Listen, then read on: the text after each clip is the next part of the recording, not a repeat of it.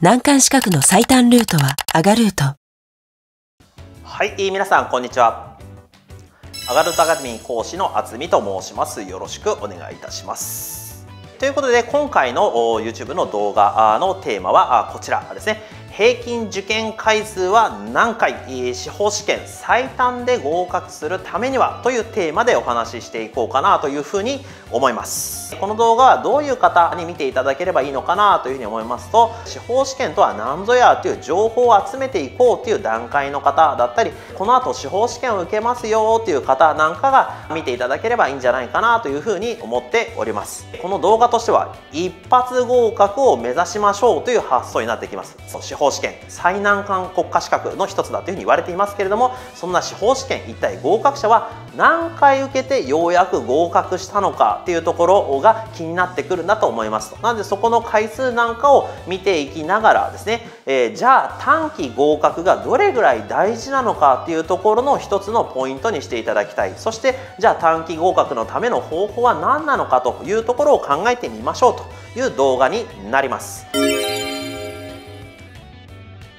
そもそも合格者の平均受験回数ってどれぐらいなんでしょうかというところですけれども司法試験合格者のうちの半分以上は受験が初めての方つまり1回目の受験で受かっちゃった一発合格者がほとんどでございます。半分以上でございますというところですね。例えば令和5年度の受験回数別の合格率を見てみると1回目で合格した人一発合格の人ですね、えー、というのは全体の約6割近くになっておりますというところですね。逆にじゃあ2回目で受かりました3回目で受かりましたっていうパーセンテージの方を見ていくと2回目が 19.8%3 回目が 9%4 回目が9.4%えー、5回目が7%ってことで2回3回4回というふうに受験回数が増えていけば増えていくほど合格率が低くなってきているんじゃないんでしょうかというところでございますと。これは別に令和5年のデータに限らず過去ですね令和4年よりも前を見てみても大体こんな形になってきますというところでございます。実際問題としては司法試験っていうのは5年で5回受けられるっていう仕組みにはなっていますが現実問題としては3回以上の受験回数が増えてくるとぐっと下がる。5回目で受かればいいやてだとその時の合格率はだいぶ低いんだろうなっていう話になってきます。ということは1回目で受かる。なるべく一発合格をする。つまり短期間。5年も使わない何年も使わないという短期で受かるっていう勉強の仕方がめちゃくちゃ大事だっていう認識は持ちたいのかなというところでございますもちろんこれはあくまでも一つデータから言えることでしかないかもしれませんけどねっていうところではございますただ短期合格っていう発想自体はすごく大事になってくると思いますんでそれを前提に引き続きお話をしていきましょうと。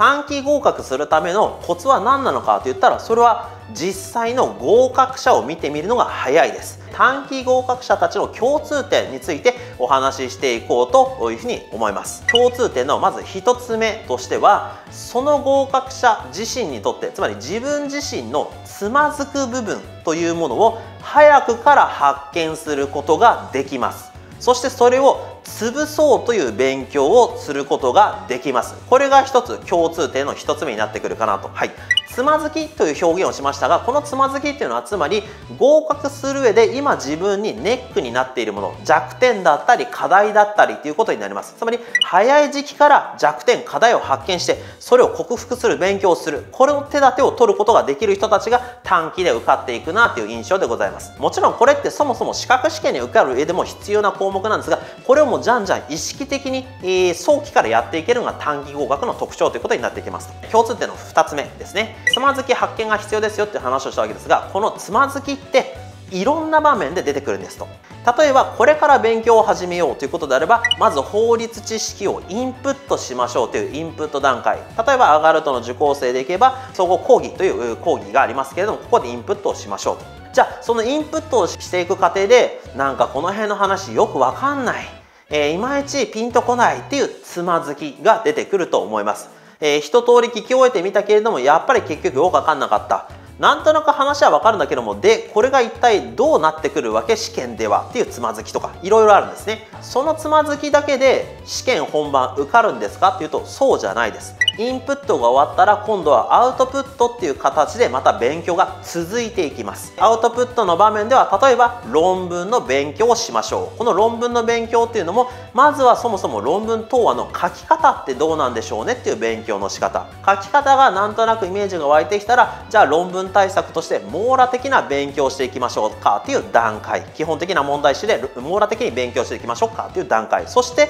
実際の本番の過去問。予備試験の過去問だったり司法試験の過去問を勉強していきましょうかっていう段階。えー、そして論文だけじゃなくて担当式試験もあるわけなので担当の勉強をしましょうかというアウトプット担当の過去問をやりましょうかという段階もあったりしますと。この各段階インプットアウトプットまでの各段階いろんな場面でいろんなつまずきが出てきます。このいろんなつまずきがあるわけなのでそれを一通りじゃんじゃん先に進ませる勉強をしていくことでどんどんつまずきを発見していくことができる。これが短期合格の秘訣です。ずっと最初のインプット段階で時間を大量に使ってここの段階のつまずきだけを発見するんじゃなくてもっと先々のつまずきどんどん発見しにかかることができるというところでございました。そしてこんな形でいろんなつまずきというものを発見した後になって共通点の3つ目。実際に試験本番で司法試験で受かるために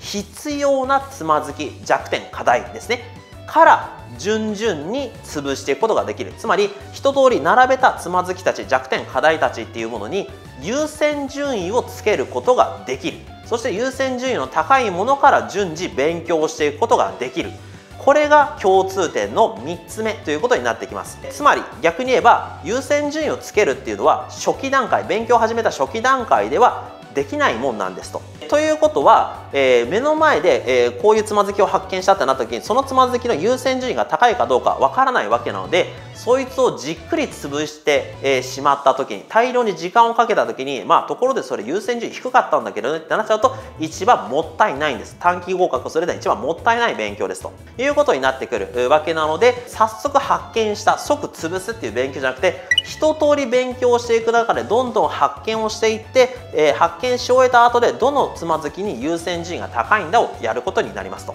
このつまずきの優先順位がつけられるようになるためには過去問のの勉強が欲しくなってきます。過去問というのはまさしく本試験そのものなわけなので本試験に合格したいということであれば過去問の分析検討が大事になってくる。そしてそれをやっていけばいくほど大体これぐらいのレベルの知識を持っとかなきゃいけないんだ。そしてこういう思考が求められるんだこういうふうに知識を使ってことが求められるんだそれが本番の問題なんだというふうになってくるとじゃあそれとの関係でいくとこっちのつまずきは絶対潰さなきゃいけないんじゃないの？こっちのつまずきは潰したいはたいんだけれども今見た過去問の頭の使い方からいくと優先順位は低いかっていうふうに過去問との関係で優先順位がつけられるようになりますと。なのでその意味でもやっぱりですね早速発見したつまずきを潰すっていう勉強じゃなくって過去問の勉強までどんどん先に進んでいって戻ってきてつまずきに優先順位をつけていく。これが共通項として大事になってくるんじゃないかなというところでございます。そしてあとはつまずき発見した。優先順位もつけた。そしたら共通点の4つ目。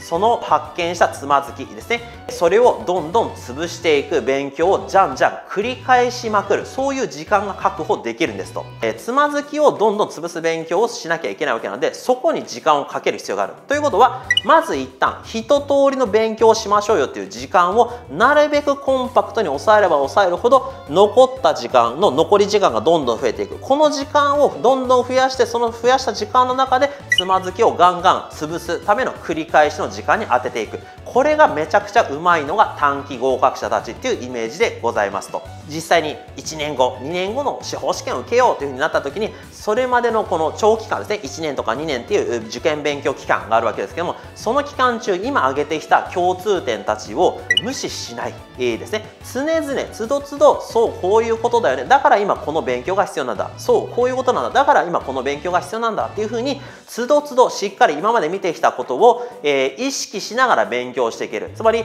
なんとなくこんな勉強しなきゃとか実際定期試験でこんなこと言われたからこんなことやんなきゃっていうふうに目の前のことでどんどん自分の勉強がブレてっちゃう。そういうことが起こらずにしっかり今言ってきた共通点を意識しながら自分をコントロールすることができる、はい、自分を律することができる人、えー、この人たちはやっぱり短期合格につながっていくんだなということなんでこれも一つ自分をコントロールできるんですよというところが共通点の、え、5つ目ということになってくるのかなというところでございます。えじゃあ最後に、えまとめておきましょう短期合格の秘訣というものはですねまず試験合格に必要な勉強全体を一通り進めていくとインプットからアウトプットまでアウトプットっていうのも初期段階の論文の初期段階の勉強だったり論文の過去問だったりっていうふうにいろいろグラデーションがあるわけですけどもその一通りをやっていく中でなるほどこういう全体像なんですねっていう把握をすることで現れたつまずきたちなんかこの辺苦手な意識があるなとかこの辺全然分かんなかったなとか、えー、過去問見てみるとこういう勉強が必要そうだなとかっていうつまずき課題弱点ですねこれをじゃんじゃん発見してそこに優先順位をつけてそして優先順位の高いものから確実に潰していく勉強をしていきましょうと。そして別に全てのつまずきを潰しきらないと合格できないんですかっていうとそういうわけでもないんですと。この潰す勉強を繰り返していく一個ずつ確実に潰していく潰しきる前に気づいたら試験受かっちゃってましたっていうパターンがほとんどでございますと。はい。実際、私自身もアガルートでですね、1年間で予備試験受かりましたっていう受講生も見ています。すごい短期で受かりましたっていう受講生見ていますけども、そんな彼ら、彼女らが、じゃあ、え法律式を完全に答案に正確に落とし込んでいるかと言われると違ってるじゃんというパターンは往々にしてよくあります。はい。つまり、完璧に仕切らないと受からない試験ではないんですというところでございました。でもその一方でじゃあということで雑な勉強を漫然としてったら受かりますかっていうとそういうわけでもないんですとしっかり自分が受かるのに必要な勉強を続けていくっていうところが大事なんですよとまさしく共通項共通点で挙げていた者たちっていうのは結局オチとしては自分でちゃんと何が必要なのかを判断しながら勉強していくってことになりますと。言い換えれば何が今の自分にとって試験合格に必要なのかこういうことをやらなきゃいけないんじゃないのかっていうことを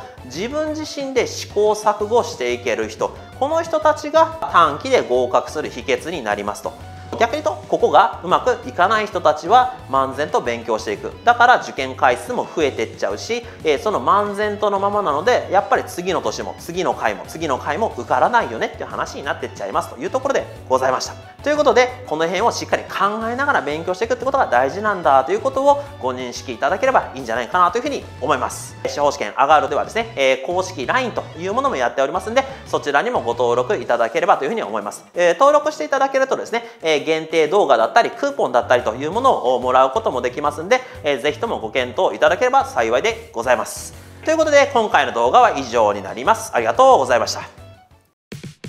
動画のご視聴ありがとうございます。アガルート公式 LINE では YouTube 未公開の限定動画やお得なクーポンを配信中。詳しくは概要欄をチェック。最短ルートアガルート